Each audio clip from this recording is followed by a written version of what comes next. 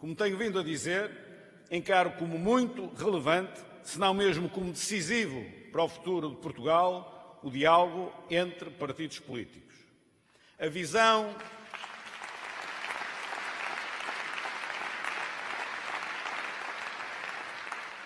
A visão clubística, que trata adversários políticos quase como inimigos, não se coaduna com a forma como vejo a atividade partidária. Existimos todos para servir Portugal. Apenas nos distinguimos na forma de o fazer. Porque defendo que sempre que o entendimento é possível, ele é obviamente preferível à discórdia e à mera tática partidária de curto prazo. Inventar diferenças para lá das que realmente existem é um exercício inútil para quem coloca os interesses do país à frente dos do seu próprio partido. Se o diálogo entre partidos é relevante, o diálogo social tem igualmente em democracia um papel do máximo relevo. Ser-se social-democrata é também fomentar o diálogo entre as diversas forças sociais, procurando sempre que possível a via do consenso na construção de um país mais justo e mais desenvolvido. A 30 de janeiro, Portugal terá eleições legislativas antecipadas, por força do esgotamento de uma solução política de má memória. De má memória porque a sua principal marca identitária era a de uma permanente aposta no presente e de um notório desprezo pela construção de um futuro melhor e mais sólido para o nosso país. Governando até o início da pandemia, num período de assinalável crescimento económico na Europa e no mundo, o governo da denominada geringonça optou sempre por distribuir tudo o que esse crescimento facultava. Pior ainda, não contente com as folgas orçamentais dele decorrentes, resolveu aumentar significativamente a carga fiscal e reduzir o investimento público para níveis excepcionalmente baixos. Os larguíssimos milhares de milhões de euros que esta conjuntura permitiu pôr à disposição do Governo foram, porém, dilapidados com o claro objetivo do PS conseguir obter a aprovação dos seus orçamentos do Estado pelo PCP e pelo Bloco de Esquerda. Mas a carência de verbas que António Costa invoca quando houve as crescentes reivindicações e reclamações de tantos setores da nossa sociedade, também não foi razão suficiente para que este Governo deixasse de perdoar mais de 100 milhões de euros de imposto de selo à EDP, apesar do PS tanto propagar que tanto quer aos mais desfavorecidos.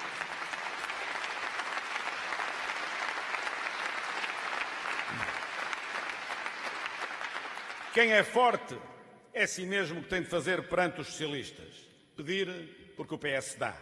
E receber porque o PS discursa à esquerda mas atua em sentido exatamente contrário àquilo que diz. É, aliás, que mandou fazer com a Europa nestes seis anos de governação. Em Bruxelas, era casado com o rigor financeiro. Em Portugal, vivia em união de facto com a geringonça. É isto que tem de acabar.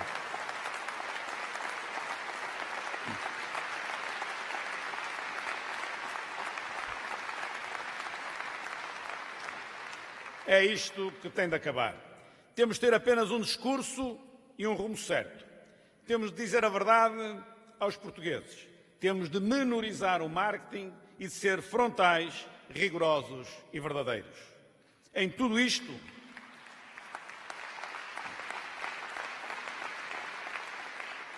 Em tudo isto e muito mais, temos sempre a mesma marca. A marca da falta de rigor e do excesso de facilitismo, como uma identidade sempre presente nas governações socialistas ao longo dos tempos. Portugal precisa de um novo governo. Um governo com uma política económica virada para o objetivo estratégico de conseguir mais e melhores empregos para os portugueses e não de dificultar sistematicamente a tarefa das empresas que criam riqueza. Uma política económica com o objetivo de pagar melhores salários, num Portugal cujo salário médio é hoje dos mais baixos de toda a União Europeia e explica a razão pela qual continuamos a empurrar os nossos jovens para a imigração. Não é aceitável.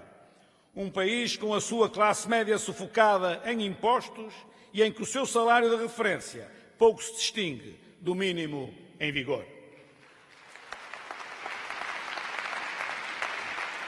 Precisamos de um novo governo com coragem para levar a cabo as reformas que nos diversos setores da nossa vida coletiva se apresentam como necessárias.